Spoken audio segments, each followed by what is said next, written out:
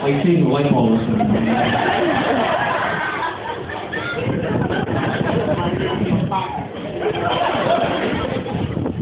I think some of my favorite moments with Brother Bailey is when we be on service. And a lot of times, you know, we'd be out all day in the, on Mondays, and my brother would be out. If you my brother and Brother Bailey, maybe somebody else. And Josh would always do something. Never fail. Josh would do something, and Brother Bailey would have to counsel him on it. And it never failed, Brother Bailey always had a scripture for Josh. No matter what the situation was, he always had a scripture.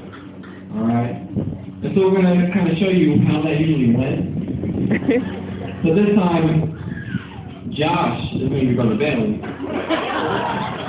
And Dave is going to be Josh. So, here's how some of them went. Josh, Josh, Josh. Are you playing a video game coming to service, brother? It's not a video game, it's a game. I mean, I mean, what,